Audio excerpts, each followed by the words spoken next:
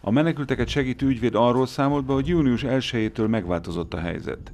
Az új szabályozás célja szerinte, hogy még inkább elriassza az érkezőket attól, hogy Magyarországon menekült státusért folyamodjanak. A kérelmezőknek a kérelmét csak és kizárólag elfogadhatatlanság körébe vizsgálja a hatóság, ami azt jelenti, hogy azt nézik, hogy volt-e más olyan ország, amin ők áthaladtak, míg Magyarországig értek, amely biztonságos menedéket jelentett volna számukra, és a hatóságnak az az álláspontja, hogy Szerbia ilyen ország, tehát ott ők az ottani helyzet okán van lehetőségük arra, hogy védelemben részesüljenek, és ezért elutasítja a kérelmüket.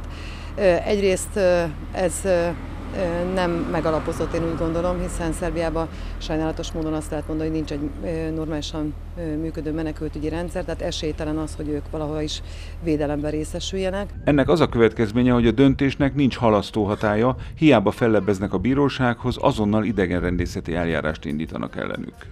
A hatóság a bírósági döntés előtt is kitoloncolhatja őket. Ráadásul az eljárás alatt a tranzitzónában a felnőtteknek nem biztosítanak élelmet. Még pénzért sem vehetnek ilyet.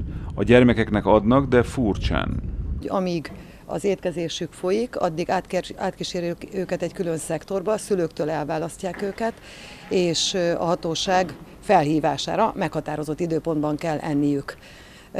Gondolom nem szorul sok magyarázatra, hogy a gyerekek számára azért ez az előírásszerű és időpontban történő étkezés azért nem feltétlenül egy nagyon humánus megoldás, hiszen mondjuk egy másfél éves gyerek nem feltétlenül akkor fog enni, amikor neki ezt utasításba adják, hogy már pedig most van az ebédidő vagy reggelidő. A civil szervezeteknek sem engedik meg, hogy ételt vigyenek a tranzitzónába. Iványi Gábort, az evangéliumi testvérközösség vezetőjét hétfőn elküldték, nem adhatta át élelmiszer csomagjait.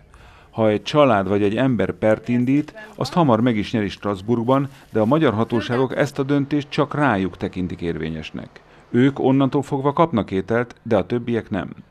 Megkérdeztük a bevándorlási és menekültügyi hivatalt is az új gyakorlatról, valamint arról, hogy miért nem adnak enni mindenkinek, de adásunk végéig nem érkezett válasz.